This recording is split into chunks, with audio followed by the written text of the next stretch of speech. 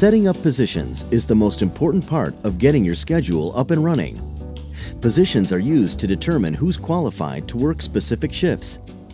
Let's start up here by clicking on the gear icon and then selecting Positions.